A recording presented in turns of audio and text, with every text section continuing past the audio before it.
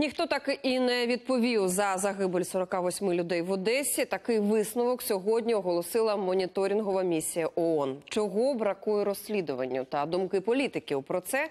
Дивіться далі. Уперше в Одесі моніторингова місія ООН із прав людини відзвітувала щодо обставин трагедії 2 травня. Висновок причини загибелі людей правоохоронці розслідують упереджено. Українська влада інтерпретує події політизовано, а в судочинство втручаються праворадикальні групи. За п'ять років від подій 2 травня влада не зробила необхідного, щоб притягти до відповідальності винних у шести вбивствах, скоєних під час заворушень у центрі міста, і призвідників загибелі 42 людей на площі Куликове поле. До поминальних заходів на Куликовому полі сьогодні долучився і співзасновник опозиційної платформи за життя Юрій Бойко. Разом з однодумцями він поклав квіти до будинку профспілок, поспілкувався з присутніми. Щоразу, перебуваючи в Одесі, Бойко приходить на місце трагедії та зустрічається з родичами загиблих. Я еще раз обещаю, что как только сменится власть, она входя, уходит, мы добьемся справедливого расследования, потому что его как такового и не было. Они вообще ни расследования не проводили И добьемся, чтобы виновные были привлечены к ответственности, отвечали по закону за это страшное зло- злодеяние. И я понимаю, почему уходящая власть расследования не проводила.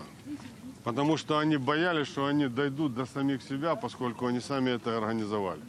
Одесит Микола Скорик вважає, саме безкарність щодо винуватців трагедії 2 травня і спричиняє політичне протистояння довкола цієї теми. Крім того, нардеп пропонує встановити пам'ятні знаки загиблим. Я считаю, что нужно увековечить память погибших как на Греческой площади, э, так и возле Дома профсоюзов. Причем я считаю, что надо сделать это э, одинаковыми э, знаками. Это даст свой определенный старт для, ну, если не для примирения, то для диалога между сторонами. А самое главное, нужно наказать, найти и наказать виновных. Нужно провести расследование. Після цього у Свято-Іллінському монастирі в Одесі відслужили молебень за жертвами травневих заворушень. Із молитвою та зі словами підтримки до родичів загиблих звернувся митрополит Одеський та Ізмаїльський Агафангел. Мы верим, что у Бога нет мертвых, у Него все живы. Христос воскрес и воскресил наши человеческие души.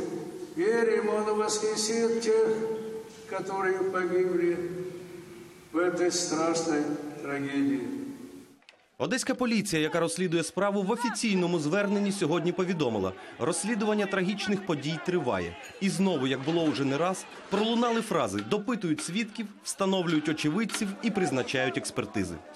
Костянтин Редін, В'ячеслав Нікіфоров, подробиці телеканал Інтер Одеса.